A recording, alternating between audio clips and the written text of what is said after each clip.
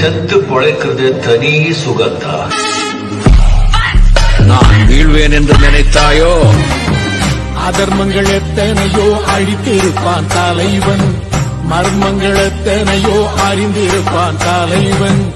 வீரர்கள் ஒன்று சேரத்தானே நாங்கள் விடுதலை வாழ்வில் வாழத்தானே. குழந்தைகள் எத்தனையோ காத்திருப்பான் தலைவன். புதுமைகள் எத்தனையோ கலந்திருப்பான் தலைவன்.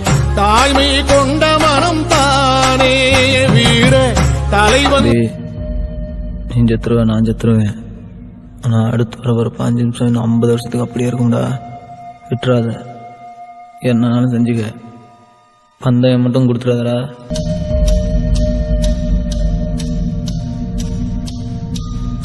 ரெண்டே நிமிஷம் தான் விட்டுறாதா தம்பி விட்டுறாத